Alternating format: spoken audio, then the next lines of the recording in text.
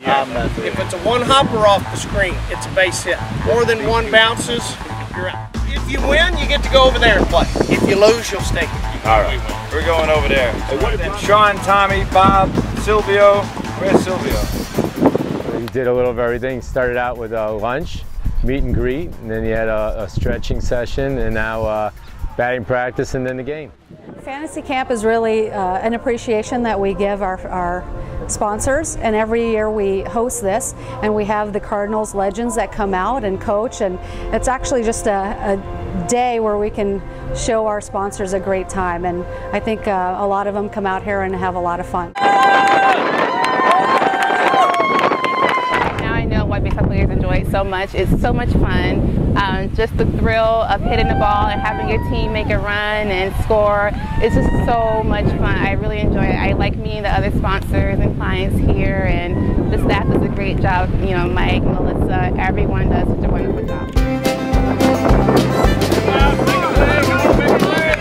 It's a lot of fun, great day for some baseball. You know what I mean? You know, get the chance to be a kid again.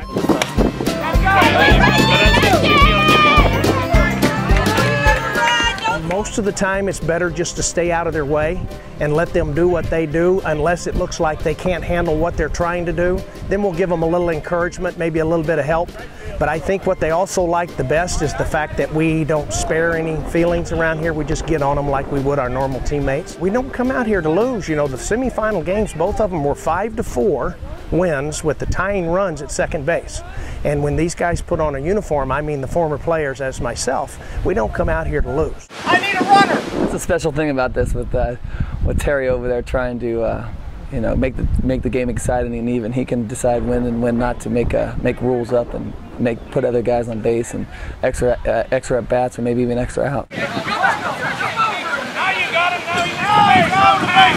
We're excited because this year um, we have the most participants ever. So we have we had up to 90 people here, which is great. Um, it's going to I think continue to grow, and I think that's also a testament to our sponsors coming back year after year, and we have great relationships with them. We uh, entered into a corporate sponsorship with uh, Roger Dean Stadium about a year ago, and uh, we have a plan to honor that for many years to come. We're very happy to be a part of the Roger Dean organization. It does really good things for. Just get swing a wooden bat and you know play with these former greats. I mean, you know, you can't really put a price tag on that. It's really priceless. And Roger Dean's always so helpful for us.